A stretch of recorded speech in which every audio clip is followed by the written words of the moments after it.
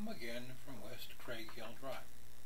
Last week I said I would try to put something together for Ash Wednesday.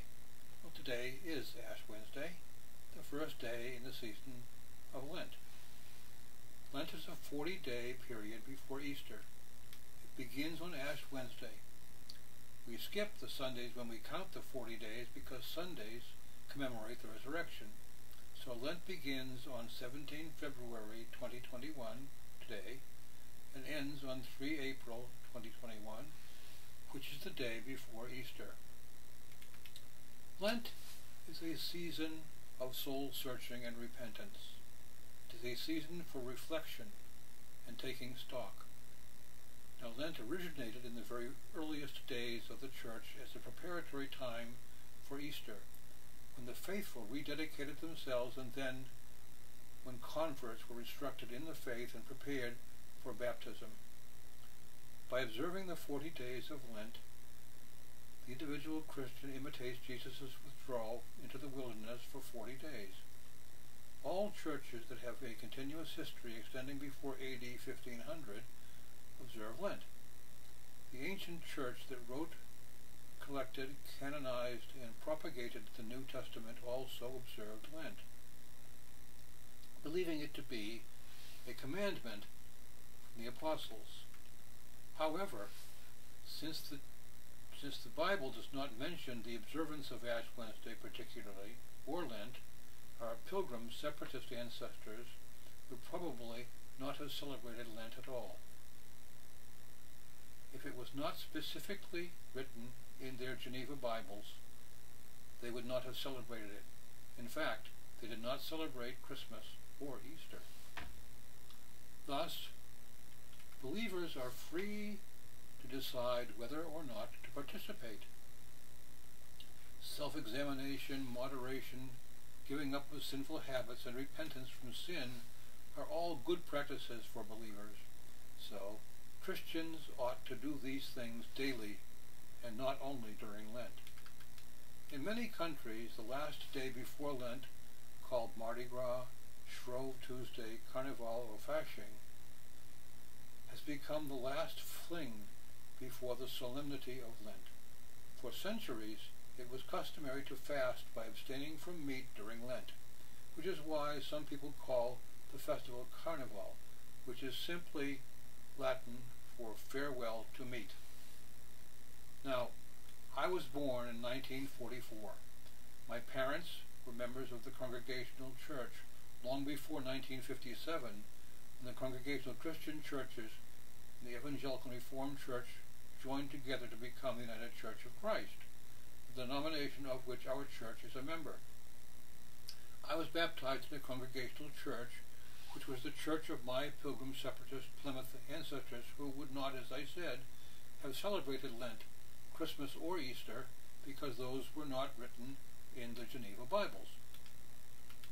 Now I remember each year as the season of Lent rolled around, many of my Roman Catholic friends would show up in school with a dark black smudge on their foreheads, and I wondered why that was the case, as well as wondering why I did not have any such smudge. Although our church celebrated Lent, we did not receive ashes which as I found out later, is what created the smudge on my friends' foreheads. Ashes, you see, became a sign of remorse, repentance, and mourning. Today, someone might wear a black armband to signify that they are in mourning. Back in the early days of the Christian church, people put ashes on their foreheads when in mourning. Biblical examples of that can be found in 2 Samuel 13 and Esther 4, where we read these words. When Mordecai learned all that had been done, Mordecai tore his clothes and put on sackcloth and ashes, and went through the city wailing with a loud bitter cry. He went up to the entrance of the king's gate, for no one might enter the king's gate clothed in with sackcloth.